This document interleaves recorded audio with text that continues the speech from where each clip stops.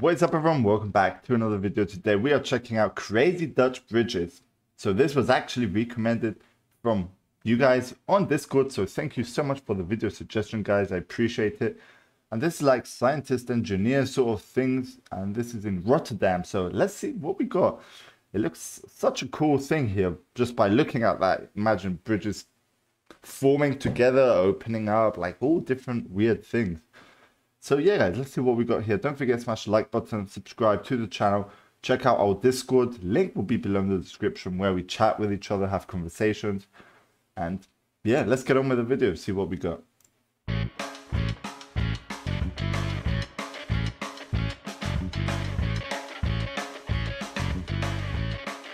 Wow, look at those, bro.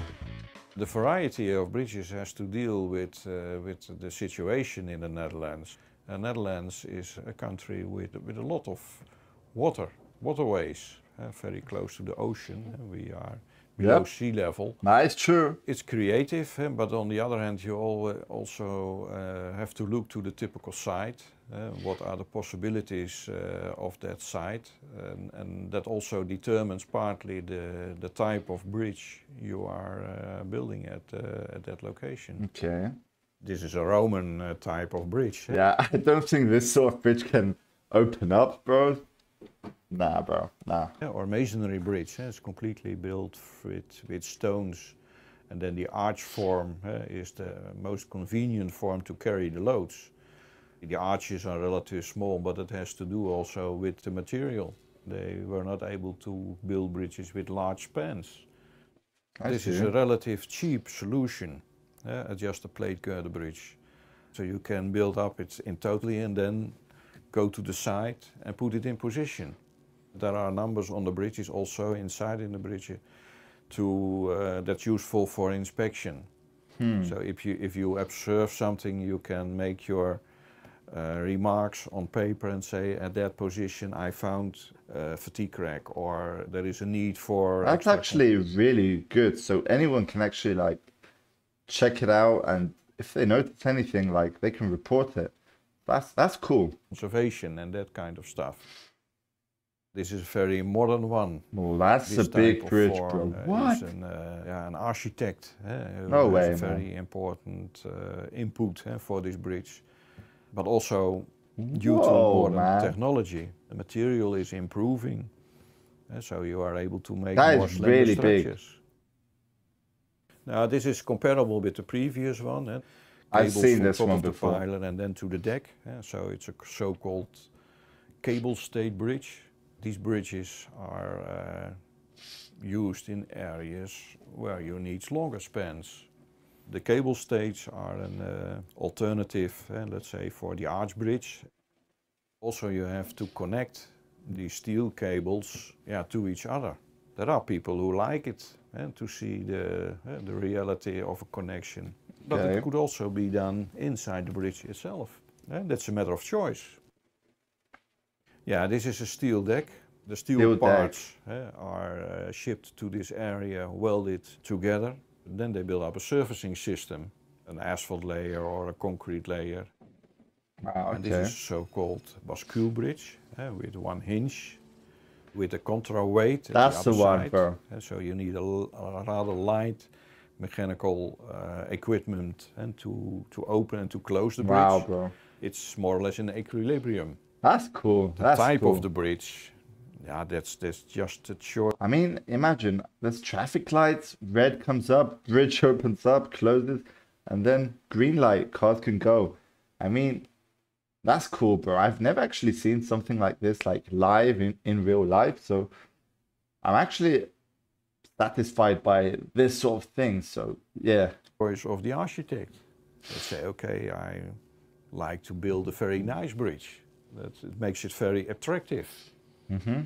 uh, but there is no real technical reason to choose for this. It makes it more expensive.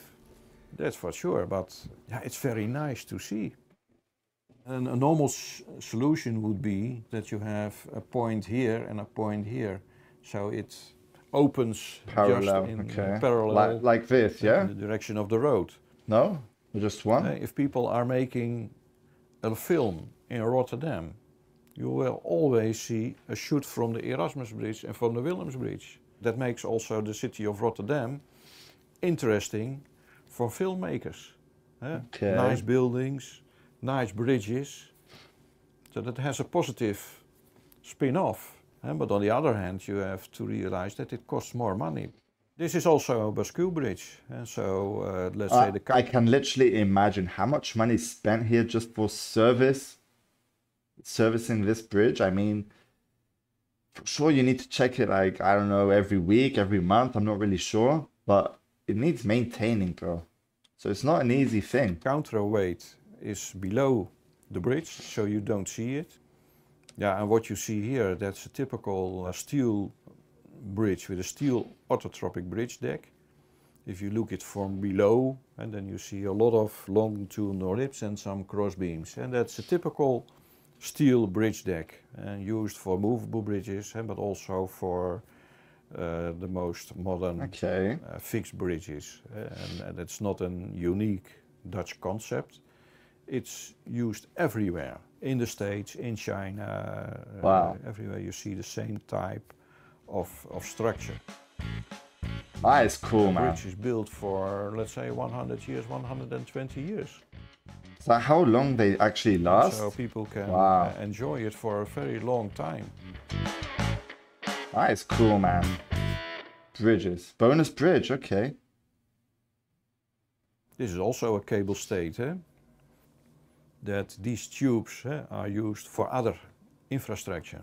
uh, just Wow, for, that's a big one as well, bro. Telephone cables, internet, and that kind of Wow. things. It isn't part of the, the structural behavior of the bridge. That is cool. Uh, this is also a very traditional, uh, traditional bridge.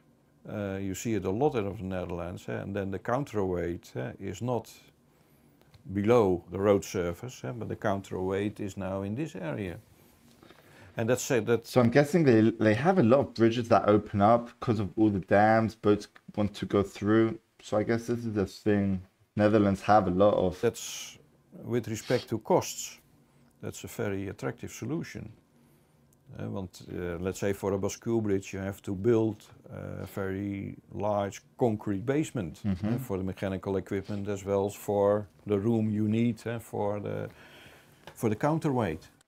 This is just an, a typical uh, inspection uh, tool, uh, and the advantage of uh, of this inspection tool is and that you can uh, put it very easy on the bridge. It's just a truck, and the whole system is folding open. Okay, so you see these you people can actually fixing very stuff. easy under the bridge. Wow, so yeah, that was pretty interesting. Really enjoyed that video, guys. I already liked, guys. So yeah, let me know your thoughts on this, guys, in the comments below. If you enjoyed the video, guys, subscribe, like the video. And yeah, we'll be seeing you on the next one, guys. Peace out.